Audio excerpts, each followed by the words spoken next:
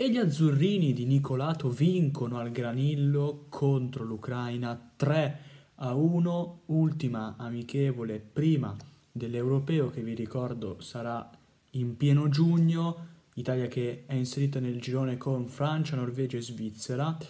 E eh, su quattro squadre passano le prime due visto che sono quattro gironi da quattro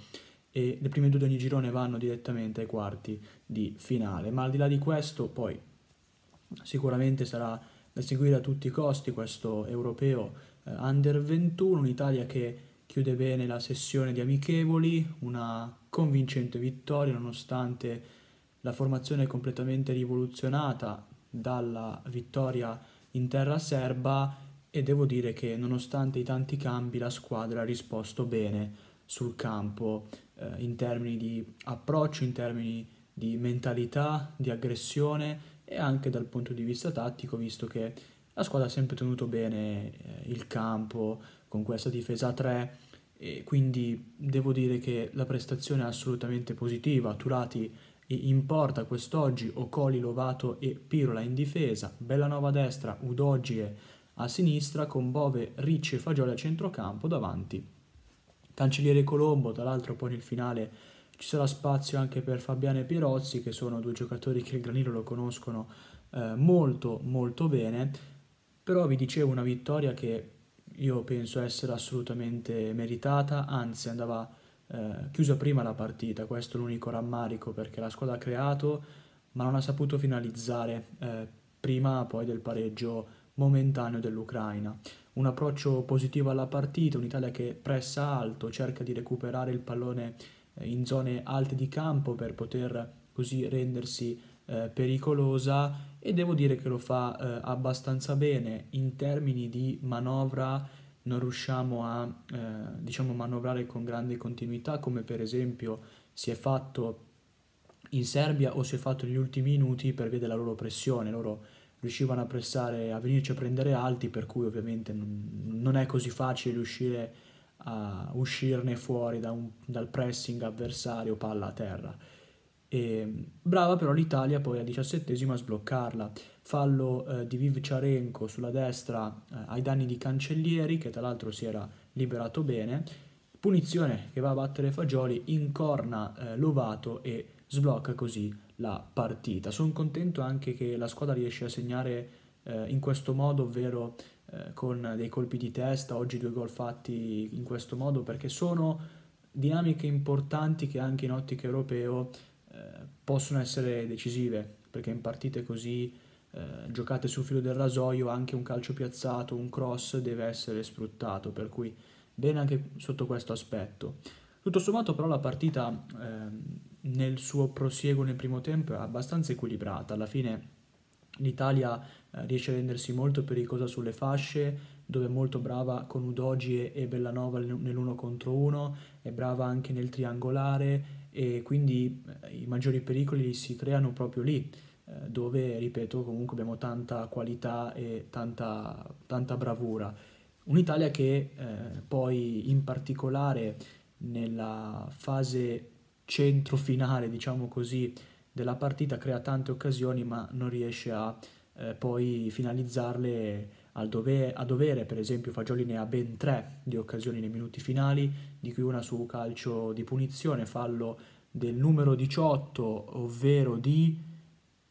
eh, Mikal, Mikailenko, credo, o sbaglio, di Mikailenko che ehm, atterra lo stesso Fagioli che poi va a battere la punizione e colpisce il palo,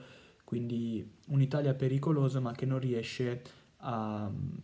come dicevo, finalizzare e chiudere la partita. Devo dire mi è piaciuta anche molto la gestione delle forze della squadra perché non, è, non ho visto una squadra che ha pressato in maniera ossessivo-compulsiva, però ha pressato nei momenti giusti, cioè quando c'era da eh, recuperare si recuperava, quando c'era da pressare si pressava e questo è un altro aspetto molto importante per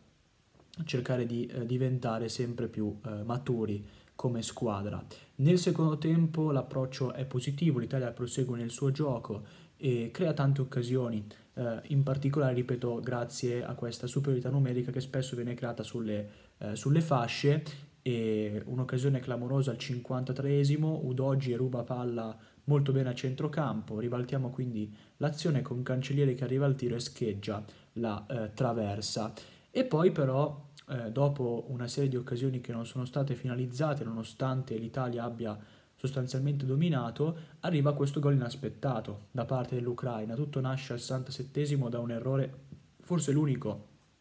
di Udogie che sbaglia un passaggio. Loro ribaltano l'azione, arrivano al tiro con Kashuk, che è certamente il calciatore più interessante, più tecnico di questa Ucraina, assieme anche a Sikan, che oggi è stato un pochino in ombra, però è un attaccante che in patria segna tanto per il resto, ecco, lo stesso Kashuk, dopo aver vinto un rimpallo, arriva al tiro e Bucaturati, che certamente poteva leggerlo meglio questo, questo tiro. Per il resto un'Italia che subito però reagisce, eh, ha la forza di ribaltarla fin da subito e proprio grazie a un'accelerazione di Udogi sulla sinistra arriva al tiro prima con Colombo e respinge il portiere. Sulla ribattuta a porta vuota Oristagno colpisce la traversa, quindi terzo legno di giornata, e poi ancora sulla ribattuta segna Colombo finalmente e fa così esplodere di gioia il, il, granillo. Dopo pochi minuti arriva anche il terzo gol che chiude i giochi all'81esimo. Rilancio eh, di Turati, Fabian vince un contrasto aereo, palla che viene raccolta da Oristagno che mette questo pallone in mezzo per Colombo che di testa buca le mani del portiere e trova la terza marcatura di eh, giornata quindi eh, fase di gestione nei minuti finali per la nazionale che comunque qualcosina rischia perché diversi errori vengono commessi, in particolare sul 2-1, qualche prone perso di troppo, qualche errore di distrazione di troppo che sicuramente avrà fatto arrabbiare il CT Nicolato, però tutto sommato la gestione eh, c'è stata, è stata positiva, squadra comunque che fino alla fine ha voluto vincere la gara e giustamente l'ha portata via. Tiri 14 a 3, tiri in porta 9 a 2, possesso palla 51 a 49, occasioni pericolose 5 a 2. Velocemente Mini Pagelle, allora bene, Udogi è migliore in campo, salta con grandissima facilità l'uomo, crea tantissime potenziali occasioni pericolose. E in fase difensiva qualche volta riesce anche a tornare, dare una mano ed essere importante, però qualche errorino ancora lo commette in particolare in questi passaggi in orizzontale che spesso li sbaglia. Bene anche Bellanova, anche lui molto bene sulla destra, soprattutto il primo tempo spinge tanto e eh,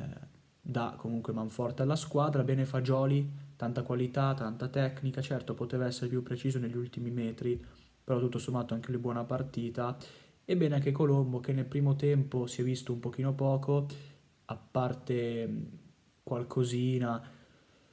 tutto sommato una prestazione che eh, viene risaltata in particolare per la buona doppietta in cui è stato molto bravo a sfruttare le occasioni perché gli si sono presentate. Per il resto una prestazione tutto sommato discreta, discretamente andante, ma le vi dico il solo Turati